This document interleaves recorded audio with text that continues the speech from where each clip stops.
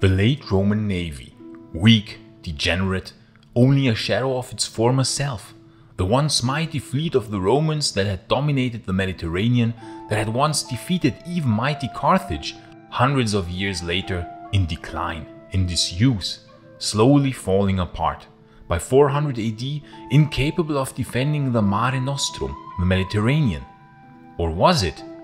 As so often with late Roman issues of any kind, the late Romans are often again portrayed as weak and degenerate descendants of mightier ancestors. We saw the same narrative with the late Roman land armies, where I hope that I could show in several videos that the late Roman army was in fact until the very end a formidable fighting force. And of course the late Roman navy shares the same fate as the late Roman land armies, in that historians often brush over it sometimes in just a few sentences, and the verdict seems all too clear, namely that the late Roman navy was only a shadow of its former self. But is this true?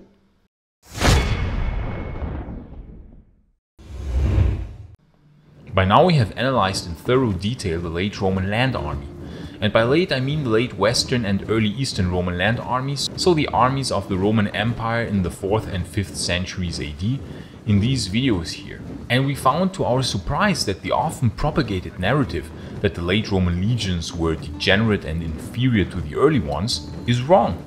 We learned that the late Roman land army dissolved more because of the constant civil wars of the 4th and 5th centuries and because recruiting new armies had become almost impossible due to the deteriorated monetary incentives for becoming a soldier. And exactly as in the case of the late Roman land armies, the late Roman navy is also often overlooked and brushed over in just a few sentences, and of course portrayed as a weak and degenerate shadow of its former self. In order to understand that this view is wrong, we have to start in the earlier days and understand how Rome rose to power, because the rise of the Roman Empire is very much tied to the rise of the Roman navy. Rome's rise to Mediterranean superpower began with the Punic Wars, from 264 to 146 BC, Rome waged three wars against its formidable enemy, the Carthaginians, and on multiple occasions came close to the brink of destruction. In 261 BC already, the Romans built their first larger fleet of 120 ships on orders of the Senate. As this first Punic War progressed, the fleet would grow larger and larger. The loss of hundreds of ships and 100,000 men in the storm while retreating from Africa in 255 BC, one, if not the largest naval disaster in human history, did not deter the Romans. Fleet after fleet was built, and in many brutal battles over the time span of a hundred years, the Romans prevailed and found themselves being transformed from a local power in Italy to masters of the western Mediterranean. After the three Punic Wars, the Romans now commanded a very impressive navy, consisting of hundreds of warships. In the subsequent two centuries, the Greeks, Mithridates of Pontus, basically everyone that posed a threat was defeated, and by the time of Augustus, the Mediterranean had become a Roman lake. Mare Nostrum, translated as Our Sea. The only enemy that remained was Rome itself, the enemies from within and Rome fought many naval battles in the famous civil wars of the late Republic. During the conquest of Germania, Roman ships sailed as far as Denmark. The navy played again an important role during the conquest of Britannia under Emperor Claudius. During the Pax Romana, there were no enemies left of noteworthy danger and the navy was mainly used to quell some local insurgencies or as protection for grain shipments to Rome and on rivers for securing the many borders of the empire. But because for 200 years there had been peace in the Mediterranean, complacency started to set in. And if you are a Rome nerd like me, and chances are pretty high that you are if you are watching this video, then you might be interested in the incredible rings and other Roman accessories which the SPQR shop is building. They make legionary rings, they make rings with different themes, they even make coin replicas, statues, pendants, attributes and terracottas. And the most incredible thing is that they handcraft every single piece. That's right, this is really high quality handcrafted material there's really no better present for yourself or someone you know who might be a Rome fan. I put the link to their shop in the video description and into the pinned comment and with this link you can get a 10% rebate on every purchase if you type in the rebate code Maiorianus. So go and check out their assortment, it's really quite incredible.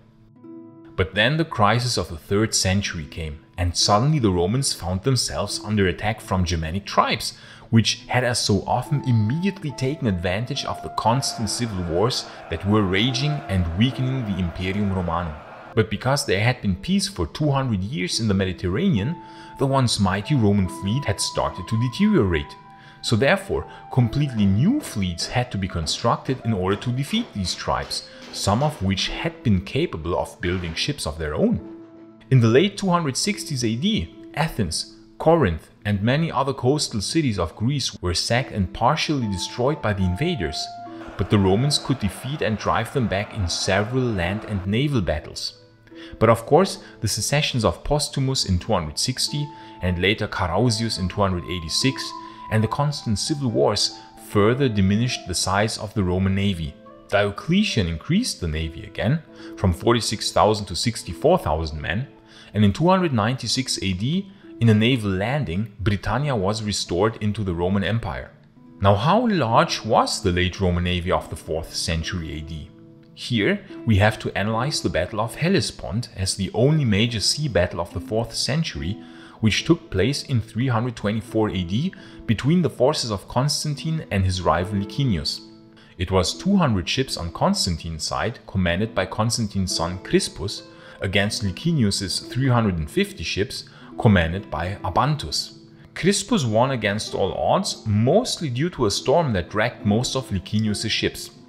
Crispus was later executed by Constantine, talk about an ungrateful father.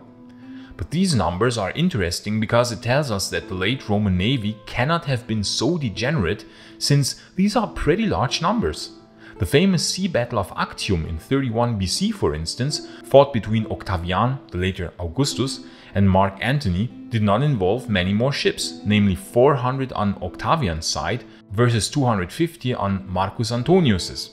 We see these are quite similar numbers to the Battle of Hellespont, and thus the later Roman Empire's navy was still quite impressive in size. Regarding the organization of the navy, it was since the time of Augustus organized in the classis system, fleets that were stationed at certain harbors. The classis Germanica, for instance, was a large fleet that operated on the river Rhine and played a crucial role in the defense of Gaul from Germanic incursions. But there were other classes, and they were under control of the Praefectus classis. There were also two Praetorian fleets that, similar to the Praetorian Guard, were under direct command of the emperor. The classis Misenensis, stationed at Misenum near Neapolis, and the classis Ravennatis, stationed at Ravenna, were the two Praetorian fleets, permanently stationed in Italy for hundreds of years with a combined size of about 110 ships. It was the very Classis Misenensis that Constantine employed, among other ships of the Western Empire, in the Battle of the Hellespont in 324 AD. After his victory over Licinius, Constantine moved the main naval base of the Roman fleet to Constantinople, thus depleting the West of much of its naval power. Here we can again see that the rise of the East was, in a manner of speaking, built upon the demise of the West and Constantine again played a big role there. It is no wonder then that the Western Roman Empire found itself without a Mediterranean navy in the later course of the 4th century. Vegetius, in his late 4th century work De Re Militari, already noted that the two Praetorian fleets of Italy did not exist anymore by that time. It is therefore quite likely that the Classis Ravennatis was also moved to the east together with the Classis Misenensis by Constantine. As for the units, there was of course a large variety of different ships, but in essence, the ship design changed very little in the course of hundreds of years. Of course, there were also many merchant ships and grain ships that carried grain shipments from Africa to Rome, but they did not count to the Roman navy. The late Roman navy consisted exclusively of warships and troop transporters. The ships employed in the 4th and 5th century would have looked similar to the early Roman ships of after the Punic Wars. The only significant change was that the ram lost its importance, so the late Roman ships normally did not have a ram as opposed to the early Roman ships of 600 years earlier. It appears that the tactic of ramming the opponent had been abandoned. But apart from that, these late Roman warships were of the classic row plus sail design, as in the times of the Republic, meaning that on the deck there were rowers and above deck there were sails. There were biremes, triremes, quadriremes, quintiremes, hexaremes, and even larger ones are mentioned. The number stands for how the rowers were arranged. A typical trireme, for example, had three rowers arranged per oar, often one per rudder, but other configurations were of course also possible. The Praetorian fleet, specifically the previously mentioned Classis Misenensis, had the largest ship, which was a hexareme called the Ops. It was the flagship of the entire Roman fleet. We can imagine that it must have been quite impressive. Such ships were up to 50 meters long, sometimes they even had one or several towers on deck, acting as elevated firing platforms for archers. Their crew went into the hundreds. But even larger ships are mentioned, however, we have no exact details of what the largest ships of the Roman navy were. Diceres, so tens, and even larger ones are mentioned in antiquity. For instance, Ptolemy IV apparently built a 40, so pairs of 40 rowers on each side. The ship was 130 meters long and required 4,000 rowers and 400 other crew. This was the largest ship ever built in antiquity, but it was very sluggish and impractical due to its sheer size. It was more as a prestige project and for showing off, and it is unlikely that the Roman fleet had ships larger than the previously mentioned hexareme. And even that ship size might not have existed anymore in late antiquity. Quinqueremes and hexaremes might not have been used anymore after the 200 years of Pax Romana. The bulk of the fleets were made up of quadriremes, but even more prominently triremes. Liburnians, a type of small galley, were also used very often, and the term Liburnia was later actually used for any type of warship, not only for the small galleys. I previously mentioned the Classis Germanica on the River Rhine. This classis was abandoned after Gallia was overrun in 407 AD by a coalition of Germanic tribes. As a consequence, Constantine III sailed from Britain to Gaul, taking with him the entire Classis Britannica, of which we don't know what happened to it later. It was probably given up or destroyed in the many civil wars of Honorius against the many usurpers of the Western Empire. But maybe remnants of the Classis Britannica might have been used by Aegidius and Syagrius as late as the 480s. A fascinating thought. We also said before that the Western Empire's Praetorian fleets were stolen, for lack of a better word, by Constantine, so that the West did not have an adequate supply of ships in order to effectively combat the Germanic invasions. It was thus that the Vandals were able to sail over to Africa from Spain in 429, which would mark a turning point for the Western Roman Empire. The Vandals themselves learned how to build ships from the local Roman population of Hispania because those locals wanted nothing more than to make the barbarians disappear from Spain and leave them in peace. The Western Romans were not able to prevent this from happening because the West was as so often entrenched in a civil war between Aetius, Flavius Felix and Bonifacius, and so this disaster was allowed to happen. Subsequent tries to reclaim Africa failed, but not because the late Roman navy had become degenerate, but because the empire was under attack from all sides. A try to reconquer Africa in 440 and 441 had to be aborted. This was a joint expedition of Valentinian III and Theodosius II, because exactly at that time the Huns suddenly attacked the east, and so the eastern fleet had to withdraw before the attack on the Vandals could be started. And because the East had the larger fleet since the times of Constantine, for obvious reasons, the West could not mount a naval expedition of its own. Nothing happened naval wise in the West until, as so often in Western Roman history, Majorian arrived. In part 2 of the Majorian trilogy, I will explain how he built a quite impressive fleet at several ports in Italy, and so for a few years, the Vandal raids on the coast of Italy stopped. However, Majorian's main fleet was destroyed either by traitors or in a Vandal surprise attack at Cartagena in 460 AD. 300 ships were lost in that fateful disaster, which was a very respectable size for a supposedly weak and degenerate Western Roman Empire, a similar size as in the days of Augustus, as we saw earlier.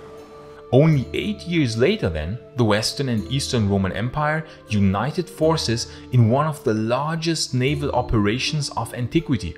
A total fleet of 1,100 ships was amassed by the East and West, with the much larger part of course by the East, and at the famous disaster of Cape Bon in 468 AD, this fleet was wasted because the commander of the fleet made some terrible tactical mistakes about which I talked in detail in this video.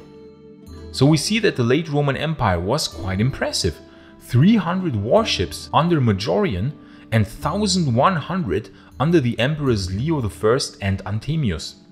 Marcellinus of Dalmatia also had a fleet of about 100 ships at his disposal.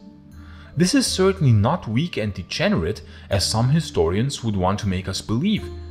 Had the operations of Majorian or Anthemius and Leo I worked, the Western Roman Empire might have been restored. But alas, grave tactical mistakes were made and thus the Roman navy perished in the West for good when the Western Roman Empire dissolved. Not because of the degeneracy of the navy, but because of bad tactical decisions. But not so in the East, since the Eastern Roman navy remained a formidable fighting force for hundreds more years. But this will be the topic of another video where we are going to analyze in detail the later Eastern Roman or Byzantine navy. And please like this video and subscribe so that you won't miss any future videos on the fascinating era of the late Roman Empire.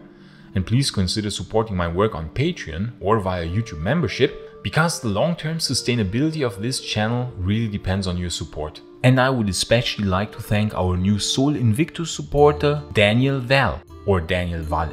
I am not sure how to pronounce it. Thank you so much, Daniel, for your amazing support. Seriously, this channel would not work without our amazing Patreon and YouTube members, and I want to thank each and everyone who is supporting this channel in any form. Gratias tibiago amici. And if you are interested in learning more about the later Roman land armies, you can watch this video here in the upper right corner.